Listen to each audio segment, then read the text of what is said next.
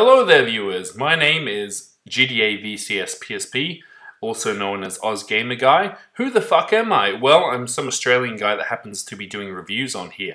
I was doing game reviews back in 2006. You'll find the archives below. This includes all my classic reviews, going back to 2006 up until about 2011 where I just got sick of doing it. Anyway, I'm back, so please enjoy my archive. I do want to do videos every so often. I am on Facebook. Um, please give me some feedback. This channel is here with uh, game reviews with a sense of style and humor. And uh, yeah, I was one of the OGs doing it back in the day, so fuck the little shits who do reviews now.